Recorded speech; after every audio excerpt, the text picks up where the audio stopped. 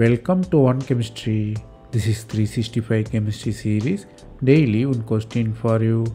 Here you have aniline and ortho position you have acid. You are reacting with nitrous acid derivative with the side chain. You have to guess what will be the final product.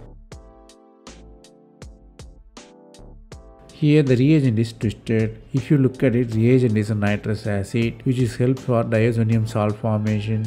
So you have diazonium salt from amine, you have N2 plus, then you have anion in the same system. So CO2 and N2 good leaving group. So what really happened? You have benzyne mechanism. It's interesting reaction because you are not converting from the halide, you are converting from acid and amine. So benzyne has to be quenched. What way benzyne will quench? Benzyne is a very reactive material. It quenched by dimerization. So dimering coupling leads to the fused benzene ring. Here the concept we outline here is two very good leaving groups lead to the benzyne mechanism. Benzynes are highly unstable. Here it is quenched by itself.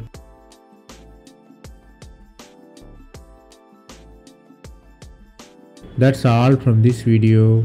Thanks for watching. If you have any suggestion comment below.